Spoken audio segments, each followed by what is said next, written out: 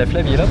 mais tout le monde le regarde. Il n'y a personne qui est vraiment curieux d'aller soit sur l'eau ou même dans l'eau puis de voir ce qu'il y a en dessous de la surface.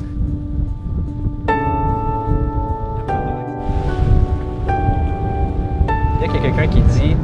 Ah oui, crime, je savais pas qu'il y avait ça dans les eaux euh, à Rimouski, Pointe-au-Pas, Saint-Flavie, peu importe, dans la région. Euh, pour moi, c'est déjà un petit checkmark euh, sur ma liste parce qu'il y a quelqu'un de plus qui le sait. Ça devienne non plus, puis c'est pas ça le but, tu sais, 50 personnes dans l'eau à faire de l'apnée puis à, ramasser du crabe ou quoi que ce soit parce qu'ils découvrent qu'il y en a, c'est- pas ça, c'est juste vraiment de découvrir que ce qu'on a dans Saint-Laurent, c'est unique, qu'il faut en prendre soin, puis que c'est vraiment beau, puis je pense que les photos, euh, c'est vraiment un bon moyen de partager tout ça. Publier une photo, c'est une chose, mais y mettre un message, puis ça, c'est peut-être un côté que j'aurais à travailler, au lieu de juste dire, tu sais, Méduse du Saint-Laurent,